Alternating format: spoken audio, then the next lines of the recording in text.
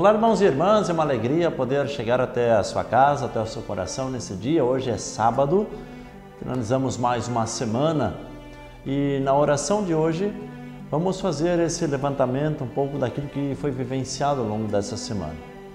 O que você fez, o que deixou de fazer. Procure, antes de ouvirmos esta palavra, procure fazer essa memória.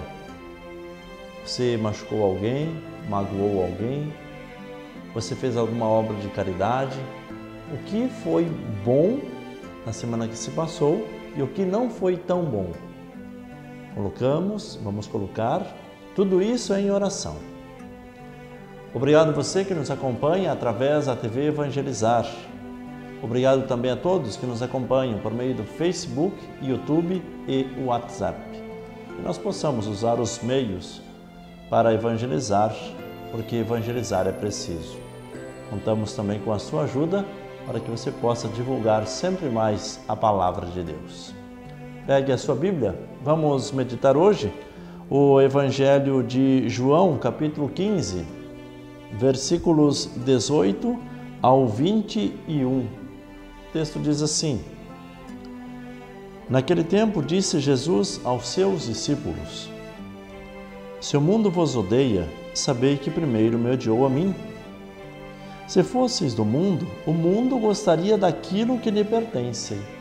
Mas, porque não sois do mundo, porque eu vos escolhi e apartei do mundo, o mundo por isso vos odeia. Lembrai-vos daquilo que eu vos disse. O servo não é maior que o seu senhor. Se me perseguiram a mim, também perseguirão a vós. Se guardaram a minha palavra, também guardarão a vossa. Tudo isso eles farão contra vós por causa do meu nome, porque não conhecem aquele que me enviou. Palavra da salvação, glória a vós, Senhor. Vamos juntos meditar a palavra deste dia.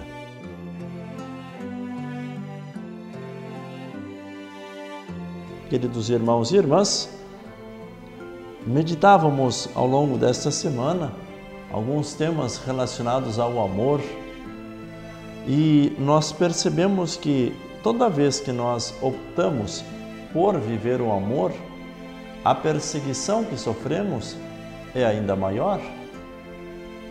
Então, quando nós optamos para fazer o bem, quando nós desligamos de uma realidade, então nós acabamos induzindo outros a fazer o mesmo. Então é mais fácil eu perseguir do que seguir. Basta olhar um pouco para a nossa vida e ver alguns exemplos. O próprio texto diz: quando pertencemos ao mundo, às coisas do mundo, aquela normalidade, todo mundo faz a mesma coisa, ninguém critica, porque ninguém é maior do que ninguém.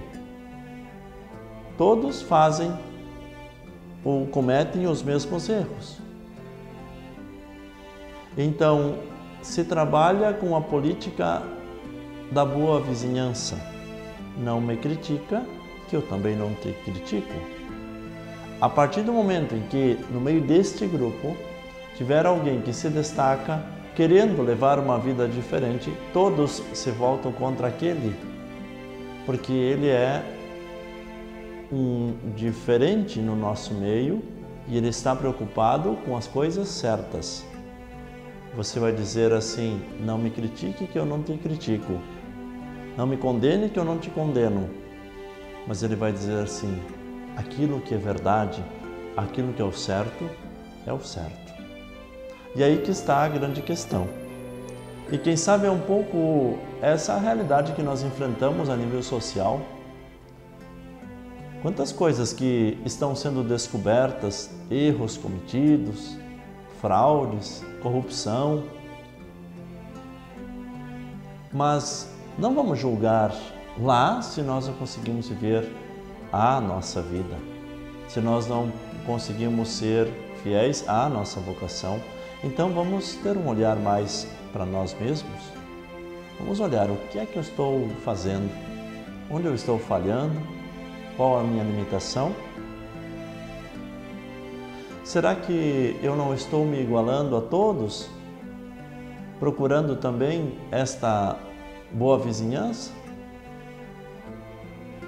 Que ninguém me incomode, eu não incomodo ninguém, mas estamos vivendo uma mentira? Isso pode acontecer também dentro das nossas igrejas. Vivência de mentiras.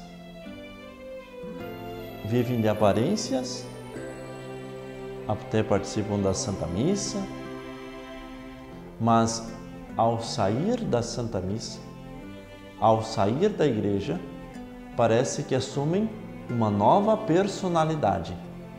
Vivem um personagem dentro da igreja e outro fora da igreja. Incoerência. Precisamos sim pedir a Deus que Ele nos fortaleça, Ele nos ajude para que nós possamos viver o amor, mas esta constância no amor. Sabemos que nós vamos enfrentar dificuldades, sabemos que vamos sofrer perseguições. Isso vem quase como que automaticamente, então não precisamos buscar. Isso vem.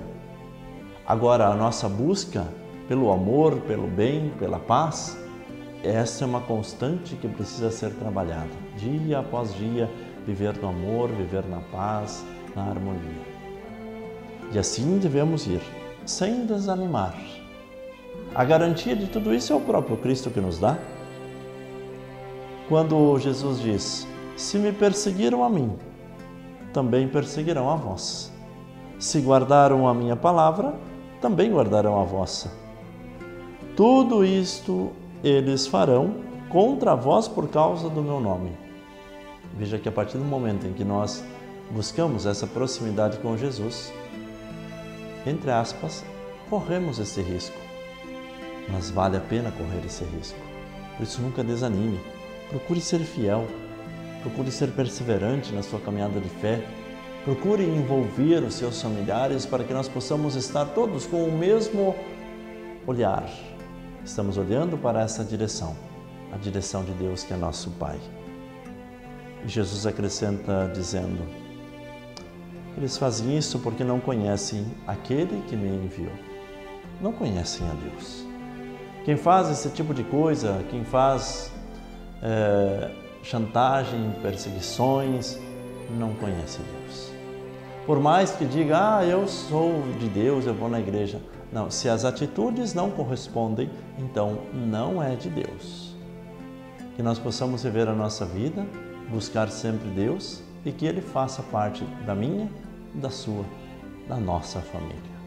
Vamos receber a bênção de Deus, pedindo essa proteção para que nós possamos viver santamente esse dia, esse final de semana. O Senhor esteja convosco, Ele está no meio de nós. Deus Todo-Poderoso, por intercessão de nossa Mãe do Céu, Virgem Maria, abençoe a cada um de vós, vossas famílias, em nome do Pai, do Filho e do Espírito Santo. Amém. Um bom final de semana a todos. Até o próximo programa.